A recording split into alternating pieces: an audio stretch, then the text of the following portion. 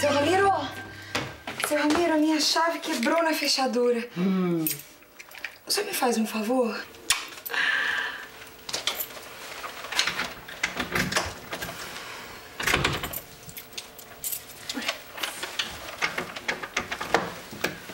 O que tá acontecendo com essa fechadura, Roseli?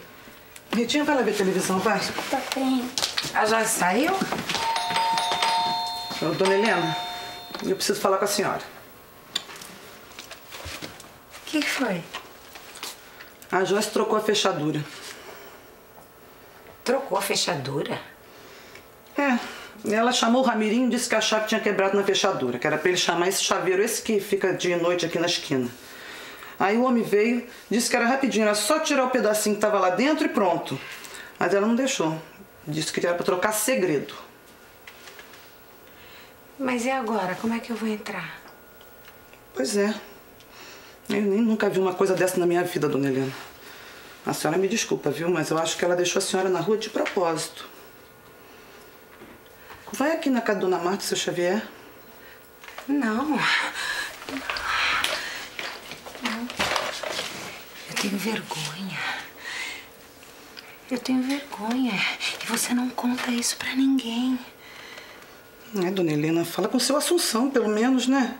Vai deixar isso assim? Não, não.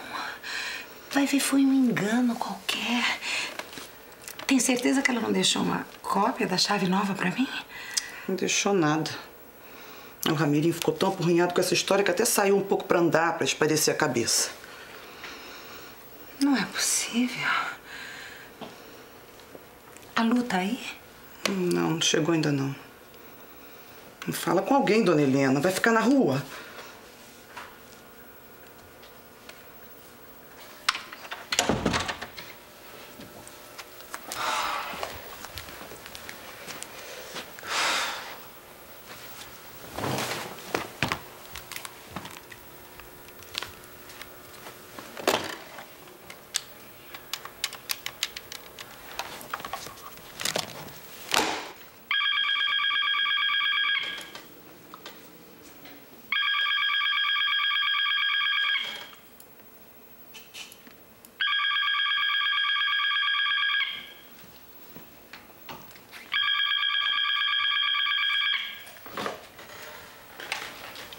Alô? A dona Helena, por favor? Ela não mora mais aqui.